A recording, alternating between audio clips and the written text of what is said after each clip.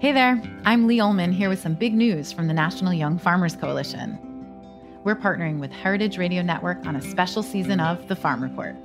It's all about what's happening with the Farm Bill and how it impacts farmers and eaters. I am growing diversified vegetables on land that's been in our family for 150 years. And so, with the pandemic, gentrification, property values going up, we had to sell the land and we lost it. Join us as we uncover the untold stories behind this massive piece of legislation that shapes how we grow our food, what we eat, and so much more. The problems we have had, those are things that come from earlier Farm Bill and USDA policy, right? Like Earl Butz, get big or get out. You know, it's my responsibility to know not only what I'm eating, but then like how how that all came to be and realize like wow like this piece of legislation all this money like it's technically something that i support as a taxpayer. While congress debates the next farm bill this is not just an invitation to listen. It's a call to action. Be part of the conversation. Subscribe to the farm report on heritage radio network wherever you listen to podcasts. Today's program was brought to you by 100 bogart street the brand new co-working space in bushwick brooklyn Learn more at 100bogart.com. You're listening to Heritage Radio Network. We're a member supported food radio network broadcasting over 35 weekly shows live from Bushwick, Brooklyn. Join our hosts as they lead you through the world of craft brewing, behind the scenes of the restaurant industry, inside the battle over school food, and beyond. Find us at heritageradionetwork.org. Hello and welcome to Snacky Tunes. I am one half your host, Greg Bresnitz. On today's episode, we have chef Nira Kehar to talk about her new book, Ojas, and how to balance your own personal dosha with this specific spice blend. And later on, we have most of Hess More live in studio with a very special first time Skype call in performance and interview from Copenhagen to talk about a captainless boat adrift at sea. Schooner or motorboat to be decided. Here on Snacky Tunes podcast. We talk about food, we talk about music with musical dudes.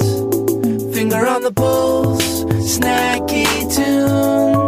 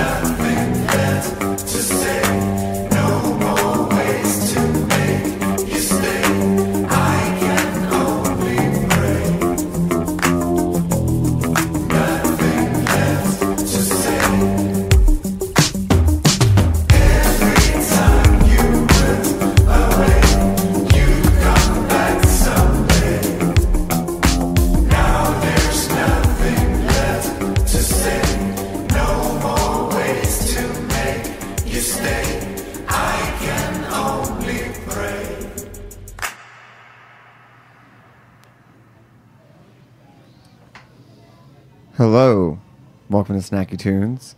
I'm one half of your host, Greg Bresnitz. That was just Hess is More, who will be mostly live in studio today with our first ever call in Skype musical performance and interview from Copenhagen. A few housekeeping notes beforehand. If it's your first time listening to us, please make sure to go over to Apple Podcast or wherever you get your podcast to leave us a review, give us, give us some stars, and hit subscribe. We'd really appreciate it.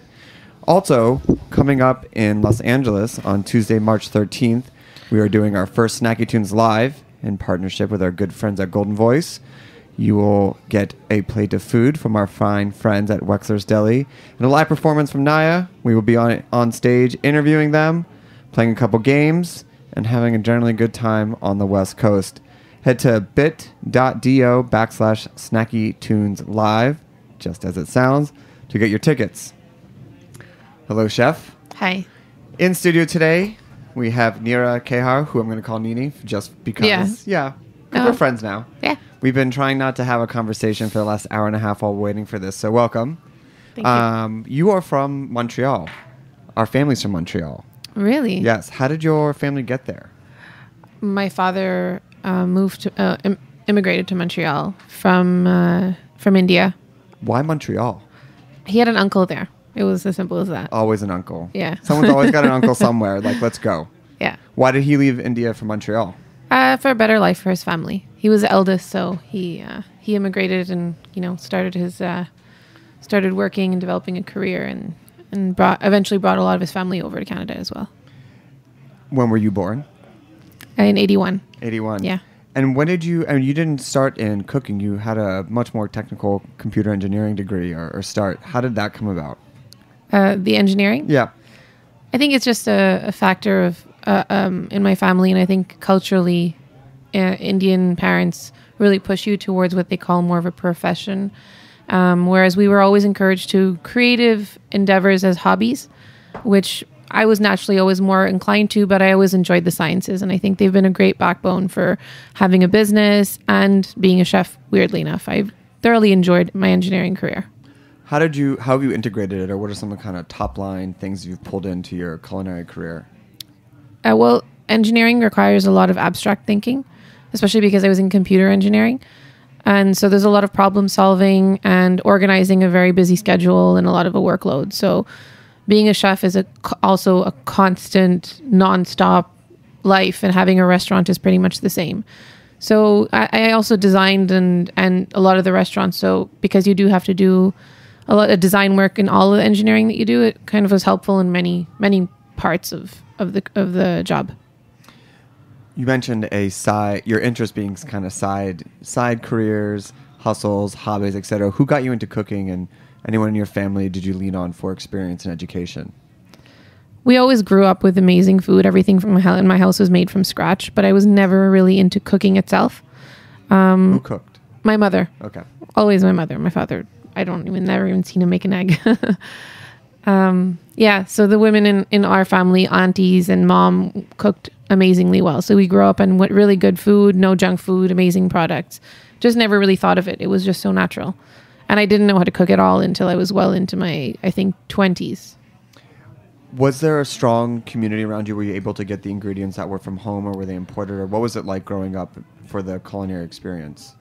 In, in, In childhood, yeah, in Montreal. amazing ingredients, um, very beautiful farmers markets. My mom would really use what was seasonal and you know buy it and p- either pickle some things, make jams, and on a regular basis we really did it according to the seasons. But it wasn't even a thought in my mind until later I got into cooking and realized how much I was lucky to have grown up that way.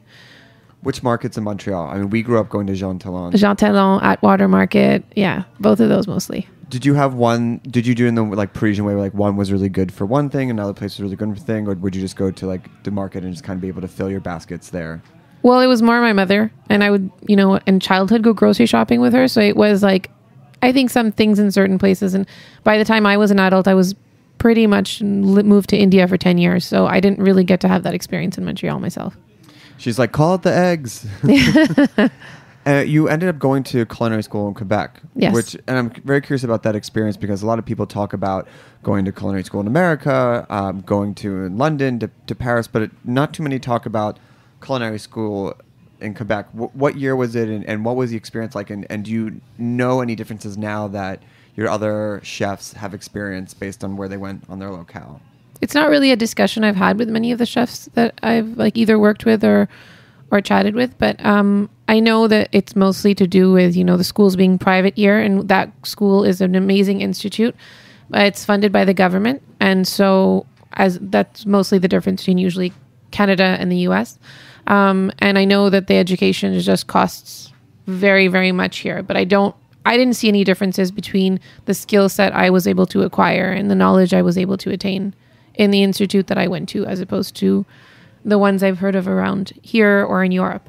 It's Was pretty there- much the same. Was there a different? Was it focused on French technique, or what Yes. was it? It was. Yeah, we had a back. We had modules in Italian cooking as well, but mostly it was uh, French technique.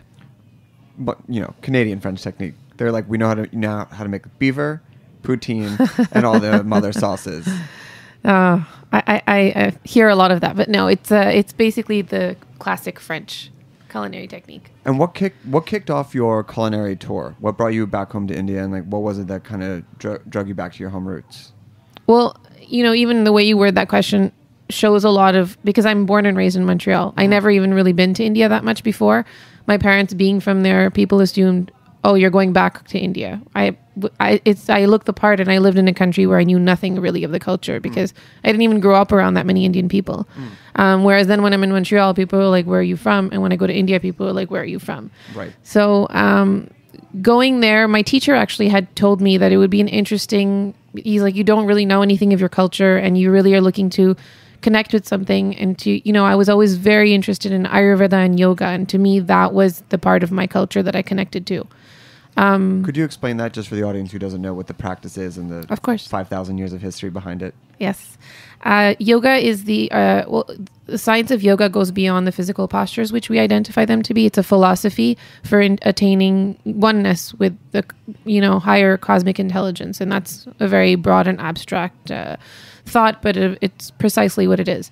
Um, Ayurveda is the science of and the knowledge of life. So how to feed your body, how to, what kind of a lifestyle to live to, to be in balance. Um, the principles of Ayurveda go from the very general basic topics to a vast science you can study for the rest of your life. So both both are sister sciences. Um, they are based on the same philosophies. One is more as far as nourishing your body with all things mostly being food, spices and herbs as far as the the very physical experience and the rest has to do with a mindset, um, a perspective on life. And did you discover this in Montreal, or did you discover when you went back? We went to India for the first time.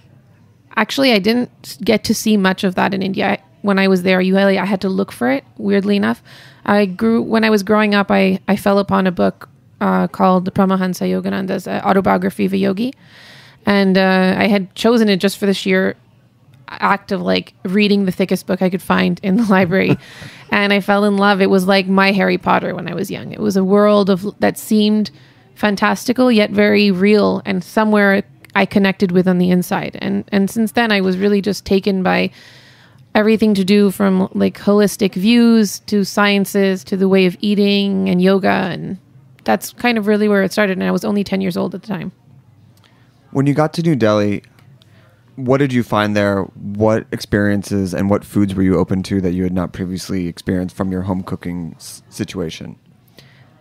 I think I was familiar most mostly with all the food. The food systems were interesting. Um, I know that they had been, you know, there was a big crisis in the 80s to do with the farmers having been given seeds from companies like Mons- Monsanto, and there was like a huge mass suicide, farmer suicides, and like there was a very big controversy on how the country was going to move forward. Is you know, it, organic wasn't a term because everything was organic. Like it was in a, the consciousness around that was just it was the only way. Um, so when I now I see a lot of people really strongly working towards a movement where going back to the old ways, which were more wholesome and holistic.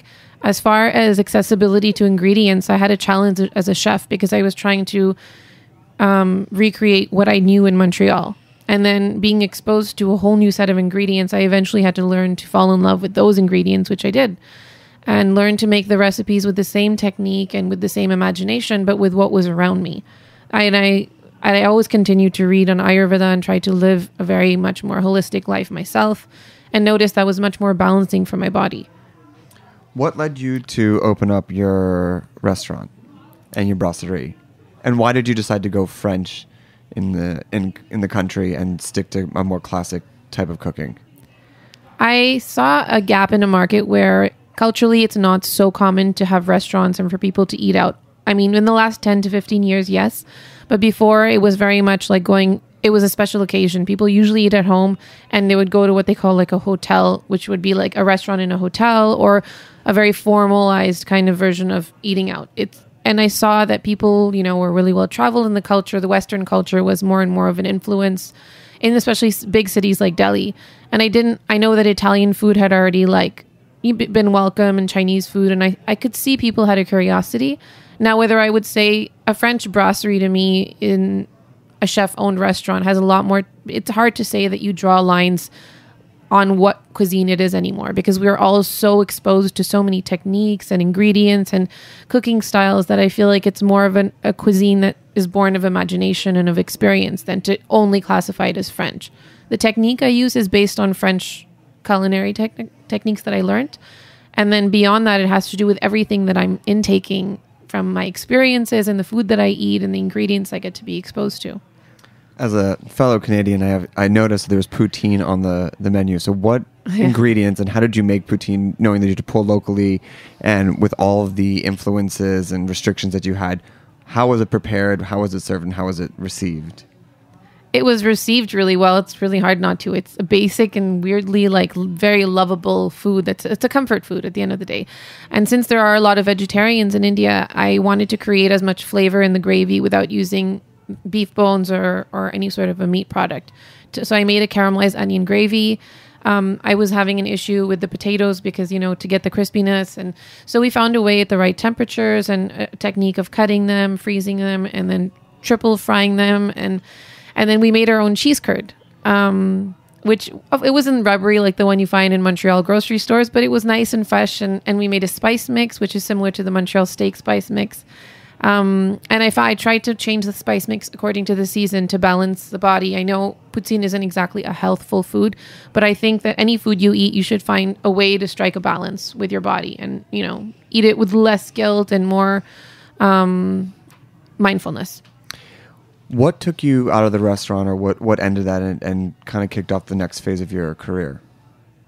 I think I, when I start, I never had a business before, and when I started the restaurant, it was a creative endeavor.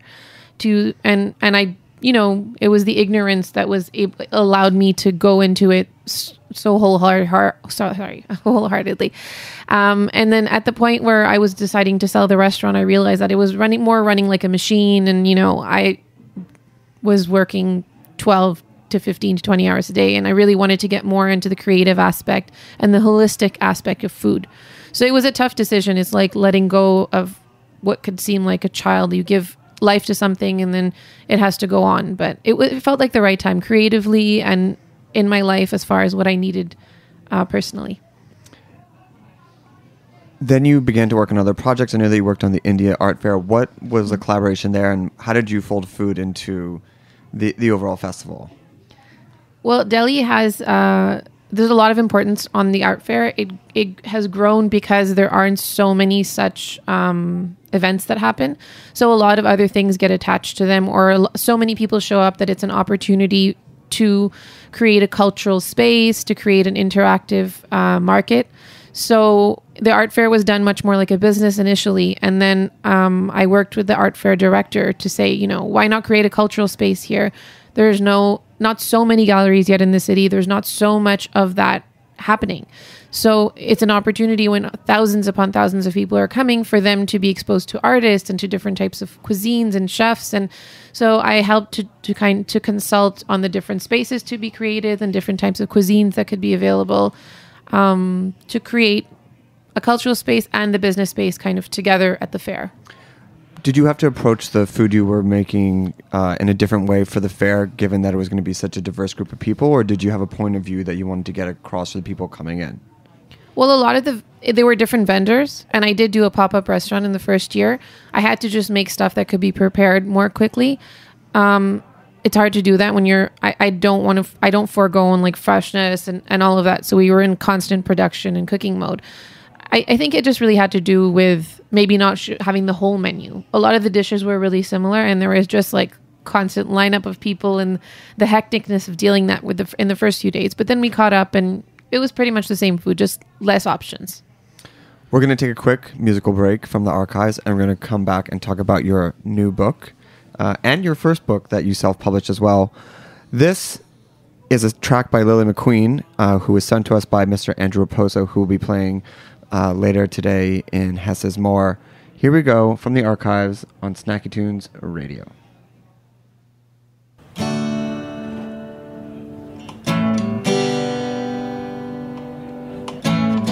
Play stop, you're messing with my mind.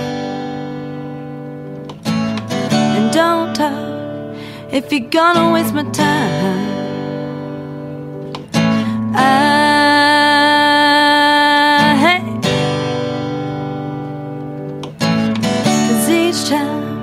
I put my heart out on the line, make me believe, then you leave. Now I'm living with your lie.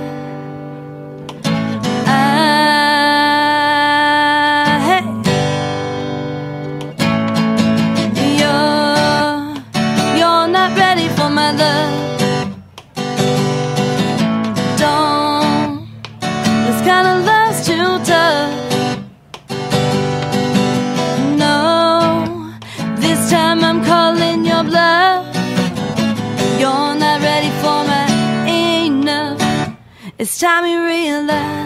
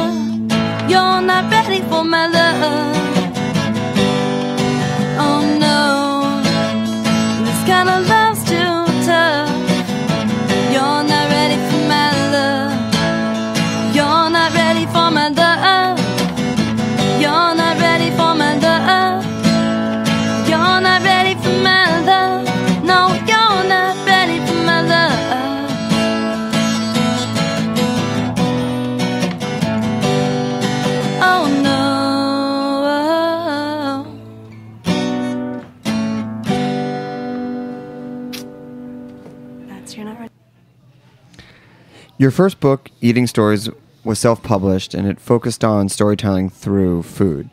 Were they stories that you wrote, stories you picked from other people, and what what type of food did you use to kind of convey the message of the storytelling?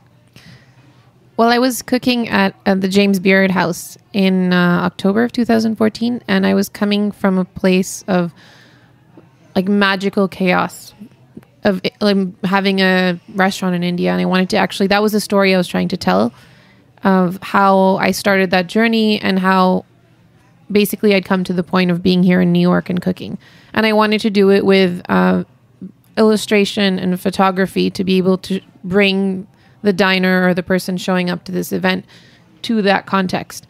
Um, so I told that story through the six tastes. What were the and the six tastes which you brought over to your current book, Yes. Ojas, which is so beautifully designed.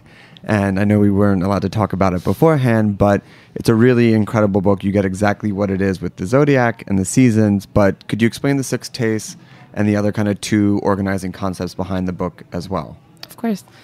Um, so in in starting with the book, I had the idea of dividing the twelve chapters according to the twelve periods of the zodiac, not to be mistaken with astrology. It's not really zodiac signs, as in like the day you were born, and it's not affected by that. It's the periods of the zodiac to reflect something where we can zoom out of our own reality and kind of an ode to our, our ancestors who would live by the stars. So they would they would navigate the seasons as well as you know the earth by looking up at the constellations. So I feel like today, where there's so many rules on how to eat and what to do, and you get so zoomed into your own existence, it's a way of kind of zooming out and getting a more comprehensive reality at the same time, where it's like um, a month by month guide to, you know, mostly the ingredients that are available at that time, the spices and herbs and the cooking styles that'll help you balance your health according to how the earth is at that time and how your body is reacting to the seasons and the the the temperature changes, etc. You mentioned the six tastes. Can you run through them and how they influence the recipes in the book? Yes, um, the six tastes are very important in Ayurveda. They are sweet, sour, salty, pungent, astringent, and bitter. I got the all six right. Yeah, I think that, yeah. Um, so the six tastes are what they use in Ayurveda, and you should have a good balance of the six tastes. But depending on your individual constitution, the time of year, and a few other deciding factors, of course, in Ayurveda you can look at things in the more generalized way, which has a good, still has a good effect on your balancing of your body. And the the standard is that you are naturally in perfect health. And any deviation from that is basically needs to be brought back to balance. And so the six tastes are used and you know the tastes are not the obvious tastes where you think sugar is sweet. Lentils are also considered sweet. So it has a lot more to do with understanding that intuitive to get that to intuitive understanding from the principles and looking at the recipes you get a better idea of that. So each of the chapters has one recipe for each of the six tastes meaning that taste is the dominant taste for that recipe What I like about this book is that it allows you to kind of, even if you just follow it, just kind of sight unseen, it's going to give you a good, a good kind of balance. But you also make it really personal based on your dosha. So can you explain that and how you balance the spices to kind of bring things back into to the center, or based on how you, how fiery you are? Yes, of course. Uh, the three doshas of Ayurveda, which are Vata, Pitta, Kapha, are exist in everybody and in everything, and they are a con- composition of the five elements, which is the main concept of Ayurveda as well. That everything is made of the five elements. And now these three energies, knows, known as your doshas, which exist in everybody, exist in everybody in a different ratio, and in very in many levels also. So to figure out what your predominant doshas are, meaning the one you had more at birth and what your blueprint is and where you are actually the dosha of how you are living your life right now affects your health, your digestive system, everything to do with your body and your mind. Um, the more you understand that, in the beginning of the book, I have something called the constellations of clarity, which are five, uh, five or six. Sorry, I can't remember topics, uh, base topics on Ayurveda, so you can start to develop an understanding on how to use um, how how the doshas exist inside of you and the basic concepts of Ayurveda. And then we have a dosha test in the book, so you can uh, figure out where you lean more towards generally for your whole life, and then also where you are as you are today. And in the each of the recipes, there is advice for how you can balance uh, that recipe according more to the dosha you have, and how each of the ingredients kind of affects that uh, towards one or the other as well.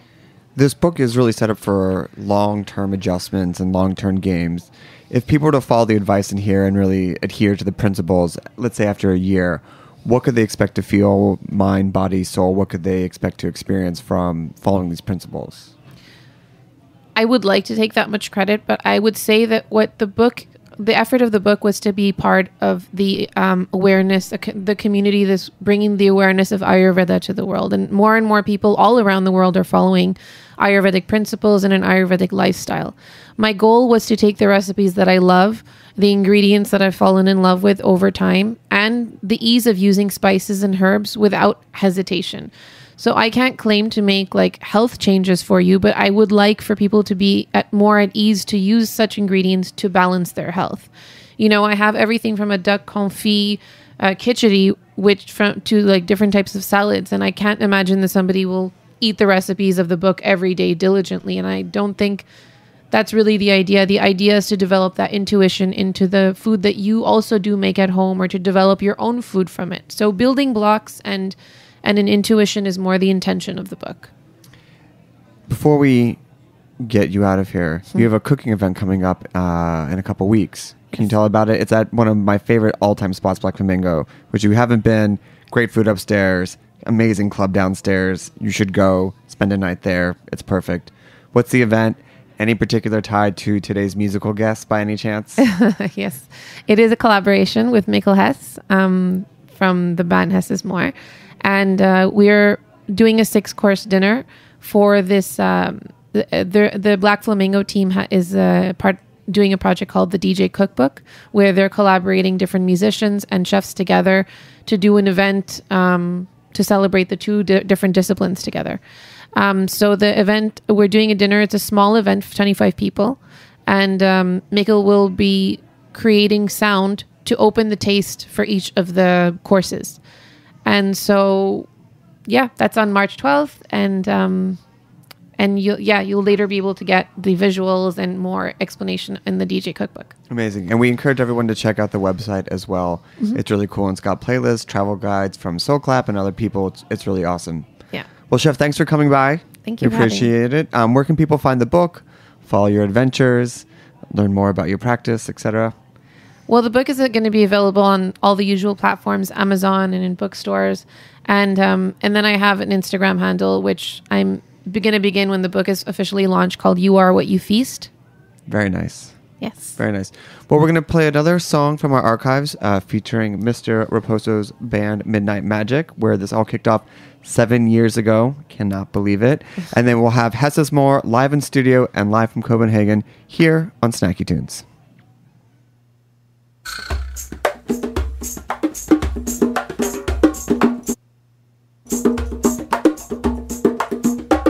You're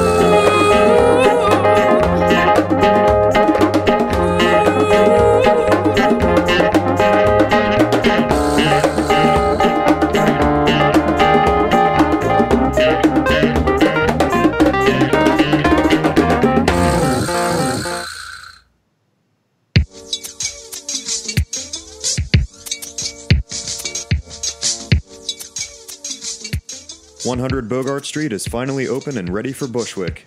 100 Bogart is a brand new, state of the art co working space that provides turnkey workspaces, including open layout desks, meeting spaces, and furnished private offices.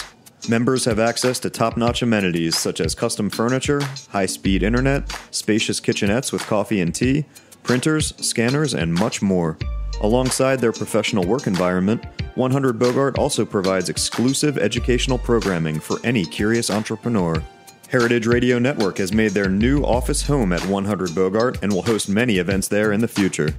For more information about their co working space, visit 100bogart.com and become a member to network, create, and educate. Welcome back to Snacky Tunes. We have Hess is More, mostly live in studio. Mikkel, are you there? I'm right here. Yes. Hello from Copenhagen. How is it over there? It's uh, good and snowy. I'm uh, currently at my mom's house, so uh, yeah, I'm making good use of the time. Yes. I'm, I'm held up here by some uh, some security issues with my visa. Yes, But, you, um, you're not I allowed believe in. that's going to pass. soon. Yes. Yes. Well, I mean, as we spoke, you have an event here in a couple weeks, so we, we definitely need you over Yes. over for the event. Uh, before we get to your band members who are sitting here in studio, I want to go back um, and talk about the origin of this project, which is about a dozen years ago. Um, how did how did you concept this? I mean, you don't normally see too many drummer centric projects. Um, what was your training and and how did this come to light? Um, yes, it's. I guess the the idea of me as a band leader started uh, in a very sort of protected environment where it was literally just the time where it became normal for us to have personal computers, and uh, so I could uh, investigate uh, that world of creating my own music without any ears or any people telling me I was useless, and I, I did it long enough that that I sort of started to feel, oh, maybe there's something going on here. So it was it was literally that. I think the door that opened for me was that possibility to just sit alone and try things out in my own slow tempo. And then over the years, I've become uh, more comfortable with that role, and now I'm courageous enough to have a band of people who are all much more skilled and talented than me. So, so that that's really my Uh-huh. biggest accomplishment over these soon. I think it's 18 years. So I've I've come out of that shell in in a major way. And and just to be clear, when you started, was your bandmate your computer and everything was done as a solo project with layering in other kind of instrumentation, loops, samples, etc. Yes, exactly. I, I started out just in my own little confined space with myself and a computer. That's a that's a perfect bandmate for for a shy composer. What limitation? What limitation did you feel you reached that you had to start bringing in other humans? Well, I think the first sort of limitation was in the presentation of the live concert, where I just, I guess, uh, the, the way my my computer and I played together wasn't really um, st- that stimulating, and, and maybe not for others to be to witness. So that's why it really started to come much more to life in in live concerts with. Uh, having the band grow and have musicians come in. So so that was sort of the first call for, and then and then at, at some point the, the live concert got so strong that it started to miss that energy in the studio work. So so then it kind of so it's almost been that pendulum back and forth. That then it was like, well, we love the concerts. Like, why don't you have more of that energy in the studio? And it's like, yeah, right. Were were your early collaborators um, from Copenhagen, or or were they transatlantic, or how did you start to put your band together? Yes, the, the, the very first sort of live collaborator I had uh, was um, my older brother Nikolai, who also, um, by coincidence of snowstorm and other good things, happens to be here uh, with me. Um, and and he's still a, a member of the group. So so we'll attempt a little four-handed piano here later on.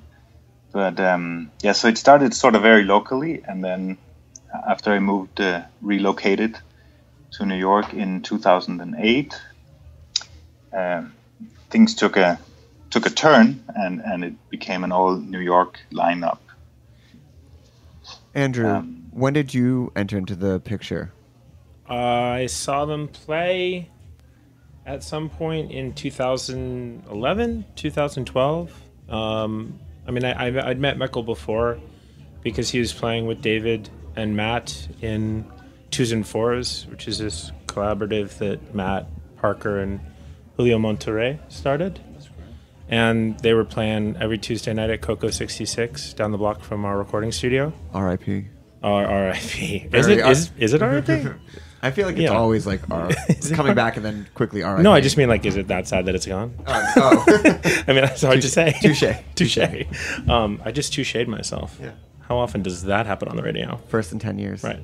Well, anyway, um, yeah, they were doing these Tuesday night things, and we would all hang out, and that's actually how Tiffany from Midnight Magic met Julio, and now they're a couple, and they live in LA, and it's pretty cool. Yes. But um, yeah, Mikkel was wearing gym shorts and uh, tuxedo tails when I met him, in sneakers, and I was like, "What is going on here?" And and him and David had this amazing thing together, and Matt and Julio. Found out that dude had a band. Went to go see them play. Thought they were cool. Got to know Rasmus a bit, uh, who's playing keys later. And he and Mikkel played me "Creation Keeps the Devil Away" before it was mastered. And I was like, "This is cool," but I was like, "I wish I'd worked on this." And then like a like a like a like a wish coming true, uh, Mikkel approached me about doing the second to last record, which is called "My Head Is a Ballroom Who Needs a Palace Anyway," and that got us all playing together. And uh, yeah, then we made another record, the new one, 80 years, and uh, yeah. I want to hear a song, but can you explain to the audience how it's going to work today since it's different than we've ever done before? Oh, yeah. Well, you mean in the sense that Mikkel's not here? Yes, that your band Oh. leader is not here. Have you ever seen a boat at sea and you're not quite sure if there's anyone aboard? Yes. We are that boat. Great. Yeah. Okay. A Boat Adrift yes. by Hess is More. What's the name of the first song I'm going to play? what, uh, what is the name of this Bear song? song. Gentlemen. Bear song. Bear Song. Bear Song. Off of the second to last record, which is My Head is a Ballroom, Who Needs a Palace Anyway. Here we go, live on Snacky Tunes.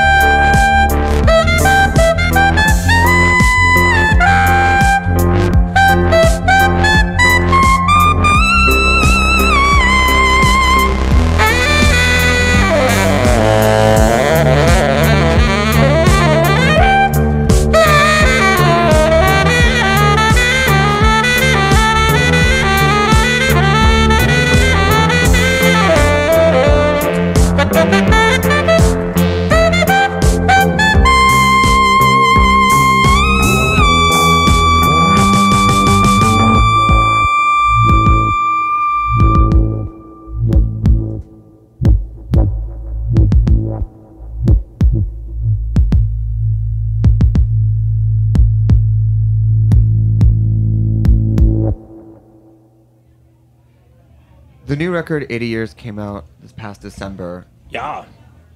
Earlier records uh, had a bit more kind of pop constrained, three to four minute tracks. This is this is some would say sprawling. Um, how did the songwriting process evolve um, from the first maybe four records, five records to the sixth and seventh record?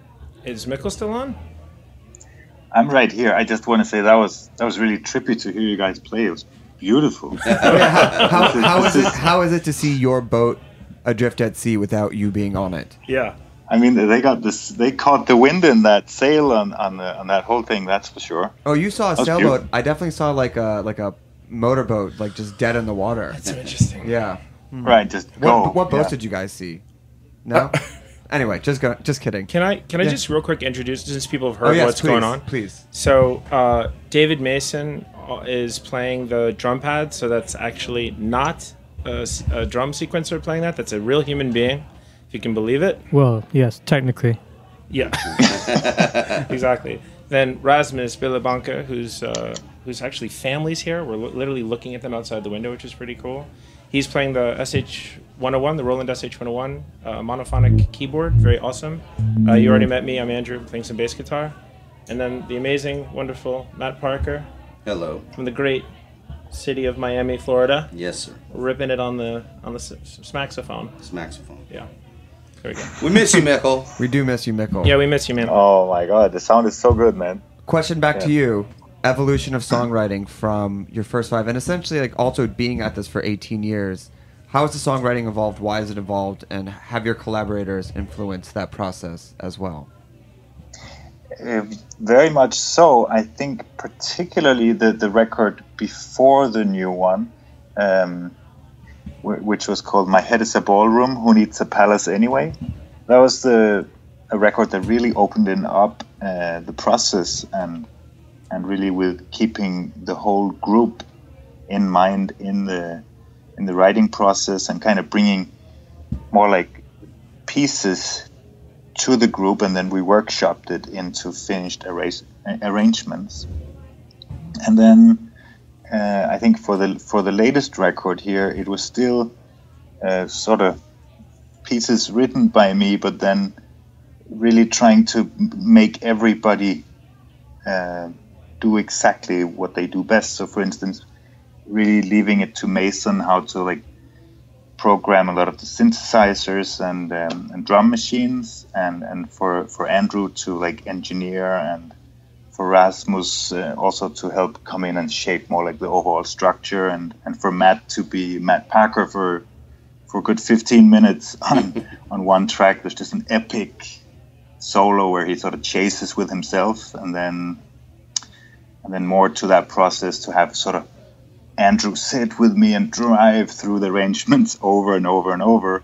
So really, uh, not working necessarily as a group the whole time, but really try and, and make everybody make best use of of all this amazing talent. Because when I'm home, I, I put on a listening center record, which is David Mason's record, and I, I love that sound. Or I listen to Midnight Magic, or or I listen to something Rasmus is doing, or, or we play music together all the time. So it's like I want those influences on the record as much as possible. Were you ever? I think that you- sort of informed the process. Were you ever cite specific tracks from your collaborators' other works? Be like, oh, I want you to do that thing that you did on that on that B side, or I want to get that bass line from from that record. Is there any way that you call specifically to kind of weave that together as influence for the writing of your own music? Uh, maybe not that specifically. Uh, I'll more also like I think I'll be make more vague references. Like, can we have some like listening center stuff here, and then sort of blank. Um, but uh, but but at the same time, I'm also like ridiculously anal about certain details. So that's um, Mason knows how to also make that happen in the drum parts or and and so on. So. I feel like you're good to leave. You're very good at, at as a as a band leader to, uh, like leave a certain amount of room for extreme responsibility for each player to, to, to- for their for their own input. Yeah. like you raise the bar. Yeah. when- Do you ever sometimes wish your human collaborators were computers? Sometimes in rehearsal. right, right, yeah. No, I, I kind of imagine that uh, I wasn't there today for the preparation for this, but I imagine that it, it went smoothly because it's it's easy to have a band where, where everybody's a producer, I suppose. Um, everybody sort of knows what to do. Can we- Only when when I step in, there's this. Obviously, this thing always happens. Like, oh, now he's there. Like, let's talk bullshit and and uh, drink beer, you know. but I, I imagine as soon as I'm away, it'll be just smooth and genius. A lot of crying. There was a lot of. I did. I did want to just point out one thing about the last record. Uh, you know, M- Mikkel does not give himself enough credit because he played. You know, almost all. I played bass on like one half of one song, but he plays bass on everything. He plays guitar and everything. He plays a lot of synth and keyboard overdubs, and obviously does all the singing and stuff. So it's pretty amazing to work with someone who can do all that in one go, and yet allow other people to be like, you know what, I want you to play that. sounds better when you do that. Let's do it like that. That's that's really great. Can we hear another song? Absolutely. What are you going to play for us? Uh, this is uh, a, a a very condensed version of a song called "It's Backwards." No matter what I do, which is on the new record, "80 Years."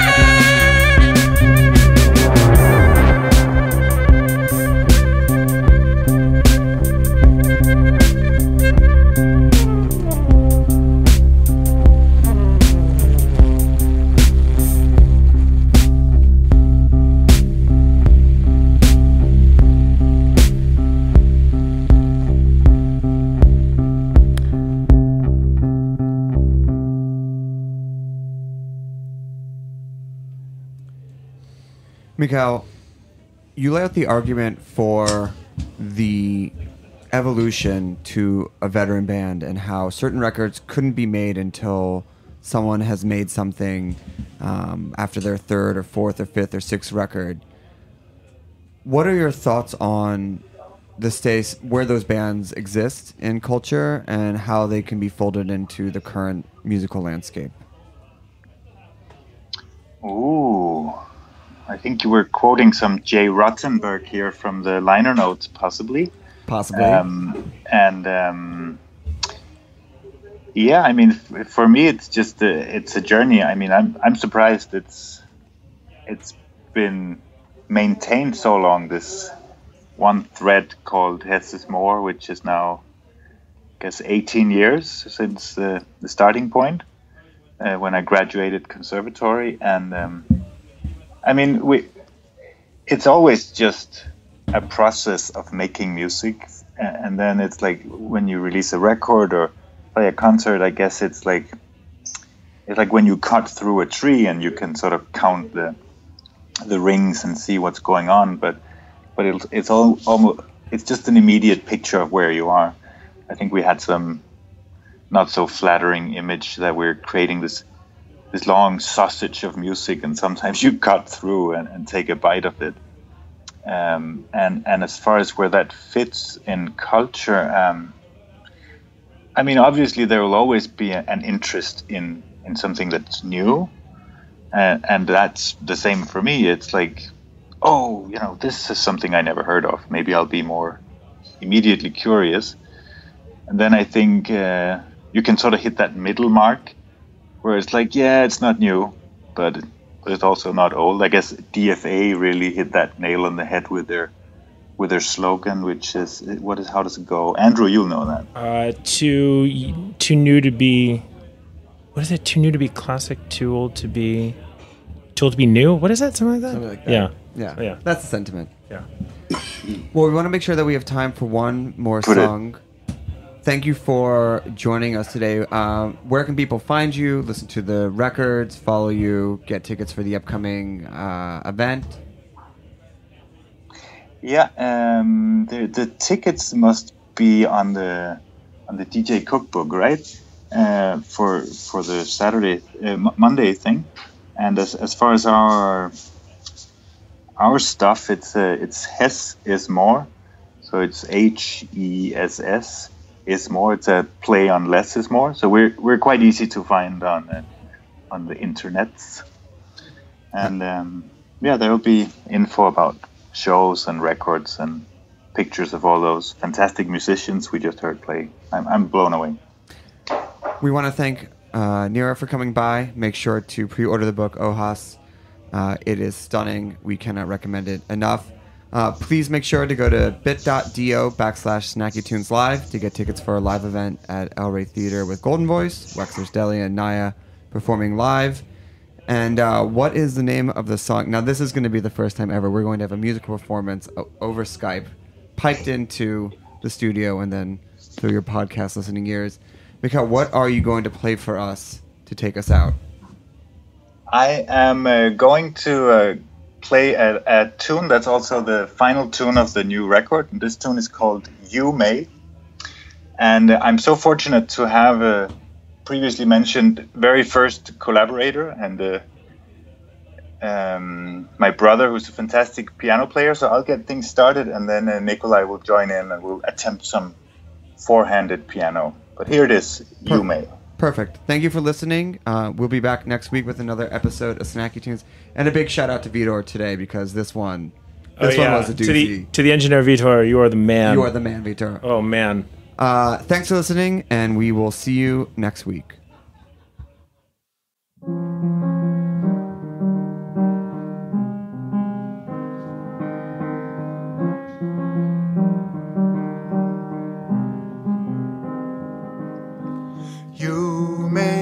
Come to me one day and tell me how you feel.